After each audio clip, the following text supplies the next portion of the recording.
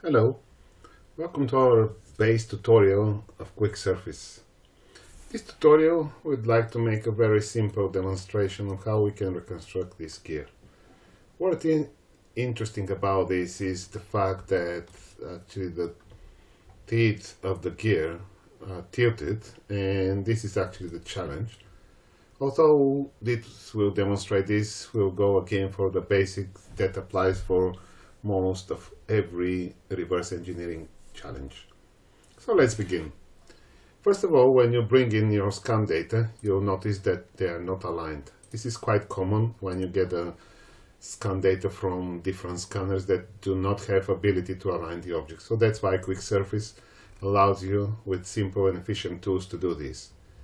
First of all, I look at the part and I see that this is probably my base plane and the center of rotation is this cylinder.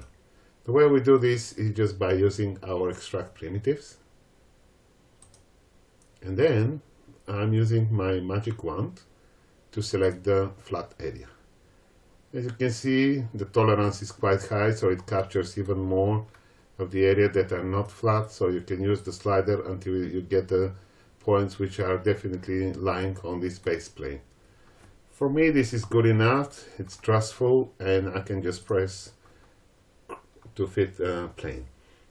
I would like to explore the quality of the part, how flat this surface is, so I'm using our analyzing tool, just click on analysis, which will give me the quality of the plane.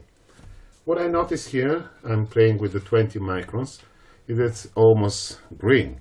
So this is the best thing I can achieve. Why? Because this part is probably damaged or something wrong with it and that's why you get this red area here but most of it is green. So this is good enough, I will just press create and stay. Why I did this create and stay? Because the next step for me would be to get the center which will define my z-axis. This is quite important because this is a rotational shape. What I'm going to do is just to select the areas that will define my cylinder. I'm missing quite a lot of information here, but I will just challenge Quick Surface to see what it can do. Using again the magic wand with the sensitivity, I try to get just the information that describes the cylinder. And perhaps I can get some more here. I can help myself just by using our brush tool make sure that select through is unchecked so I can get only the information that is needed.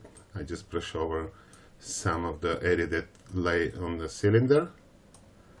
The main goal here is to get the axis, that's all we need. I will just then press fit the cylinder. What is important here for me at this moment is to get this cylinder perfectly perpendicular to my base plane. For this reason, I can just tell the software to be constrained as a perpendicular to my extracted plane. Now I get this in a more accurate way. I'm happy, I will just press create. I probably can define another constraint to define another direction, but this for me is good enough and I'm moving to the next step, which is to align the object. The alignment means that I will pick my features that will define my coordinate system. How we do this is by using our align functionality, which is available on the main toolbar. I click on the align and then select align by coordinate system. Align by coordinate system requires three features, so I just pick the first one, the plane. This guarantees that my coordinate system will be exactly on this plane. But then as a next step, I just need to pick this cylinder that will define my axis. In this case I need probably to flip this so I can get the z-axis upward. What we have here is a new location of the object where the center will be here and this plane will be perfectly aligned to the bottom plane. I don't have another constraint so I'll just leave it as it is now and just press apply. Now to test if I align the object properly, I will just place it in the standard views, for example, top view, left, right, and you can see that it's perfectly aligned.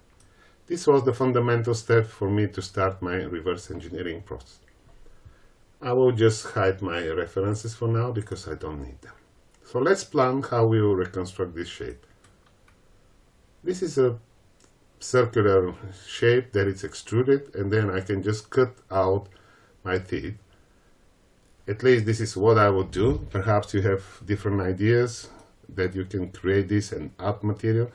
But in my demonstration I will just do it opposite. I will just create the full circle and then we'll cut out this uh, um, information from my main solid body. How we can do this is just by starting doing a 2D sketch.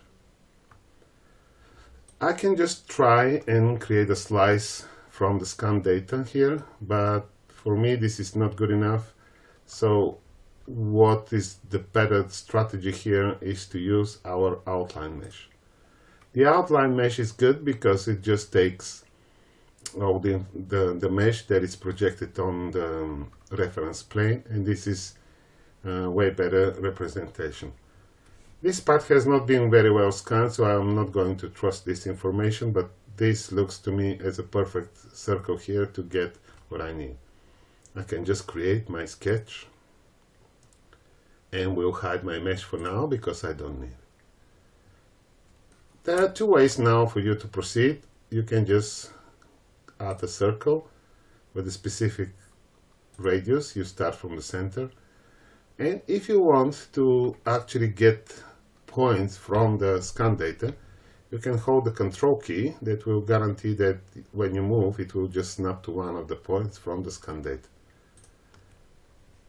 The software suggests the radius based on the interpolation or based on the scan data that you choose. But of course, you know that for the manufacturing, you always need to have a round number, so it's in your hands to decide what you want to do. For me, definitely here, I would like just to be 97.3. And although it's not perfectly interpolating the shape, this is actually what I need for my uh, shape to be. Let's take a look the next step. I created my profile. Logically, I need to extrude this. How we can do this? Just select the sketch and pick the command extrude, which will pop up in the quick menu, or you can select it from the top toolbar. Now you see we have two handles that allows us to make this the way we desire. We can move it up and down. But in my case, I just want to be just precisely on my scan data. For this purpose, I will just go and select our snapping option.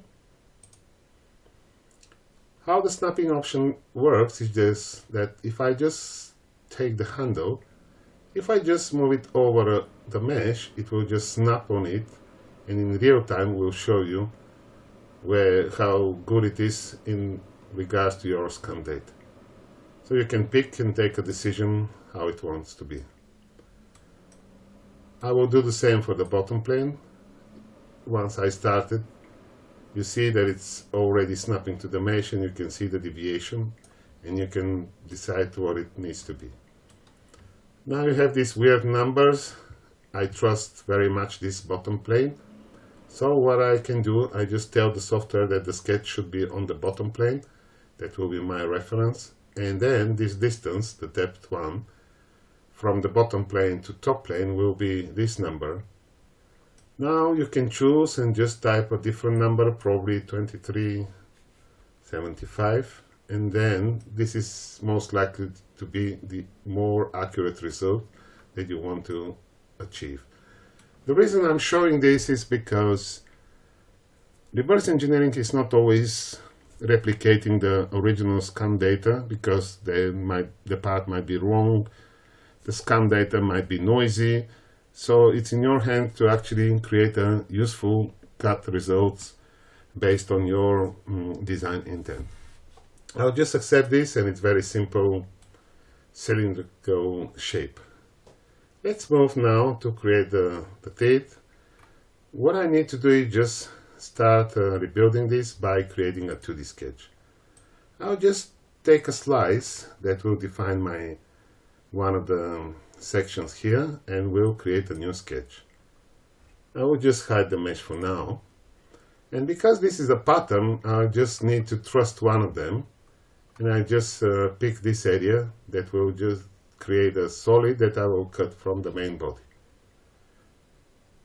I'm going to remodel this um, slicing here just by extracting primitives.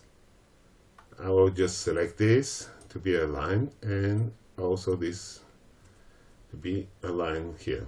Go back. What we can do now is just by selecting a corner trim I'm going to brush over the corners so they can intersect but also I'm going to use the auto fillet option and brush again over this intersection. This will create a fillet for me based on the scan data that I have. I'll go back and adjust my profile here. Probably I just need to extend this more. The reason for this is that later when I want to cut this from the main shape, it actually has enough material to get a final result. And the last thing I want to do is close this because I want to work with solids. I just create another line. Press OK. So I created my first sketch at the bottom and I'm going to create another one that will define my other level of this profile. Going to 2D sketch, move it up somewhere here and we'll create this new sketch. What you see here is the um, visualization of the other sketches and but I need to have the same corresponding profile here. I'm going to use the function which is called project other visible sketches to get this information from the sketch that I have before. So I can use this as an editable feature. I played with this example and we'll show you that actually I need to rotate this at 5 degrees. What I mean with this is just I'm going to create a pattern which is this command and we'll select the circular pattern and we'll make it at 5 degrees. This is the profile that starts from this location and ends up here. I will accept this. I don't need this profile, just delete and press OK. What we have here now are two sketches that are good enough for me to define my cutting and I will move to the next step which is using the loft command which is available into the surfacing drop down or you can go to the surfacing tab and select loft. Make sure that your select edge is selected and then I can just pick the first profile and then the second one. You can see it created this uh, information for me but that's not good enough for me. I just need this to be a way longer so I can add it something like 5 millimeters. I can just turn on the, the other solid, see this, this is good enough for cutting. And I'm happy with this. I'll just press OK. Now the problem is that we would like to use our tools for what is called a Boolean operation. Boolean operations, they work with the solid, but we have a main body as a solid, but this is open-ended. And what I need to do is to close this and form a solid. You can see that there is one solid and there is one surface here. Let me hide the solid now. What I'm going to use is our fill surface command. Make sure the select edge change is enabled and pick this shape so I can close this face. I'll press create and stay because I would like to close it on the other side, which is here. Press OK. Now I created my solid. So you can see in the feature tree we have two solids now. We're nearly done with the project. Let's uh, move on. And logically what I need to do is create a pattern along the z axis. I will just create this shape. Select pattern. Circular. Again I know it's fun but you need to count the number of these teeth. And I found that there are 106 with experimenting and trying different values. So I just type in these 106 instances here and press uh, apply so I can see the preview you can see it's exactly where they need to be. Again please note that this might not get precisely on the scan data but this is what we call it design intent. This is what you want to achieve. So I can press OK to accept this pattern. We have now one main body and a circular pattern of um, 106 solid bodies the last step that I need to do is just to define my final object. I'll just click on the main solid and instead of modifying this I'm going to use the function which is called cut from this solid. You can find this in the quick context menu or if it doesn't appear you can just take it from the main toolbar and press cut. The software defined its main body and now you need to pick what are the um, cutting tools. In my case is this one. I just press on one of these solids and wait for the software until it completes this cutting process. It may take a while because there are 106 solids that need to cut the, the main body until you get the final result. So we need to wait a little bit.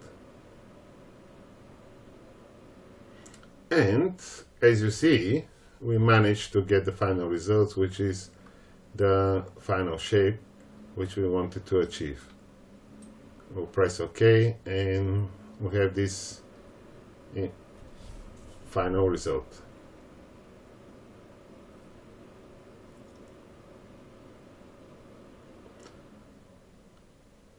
so this is what we got after our boolean cut operation.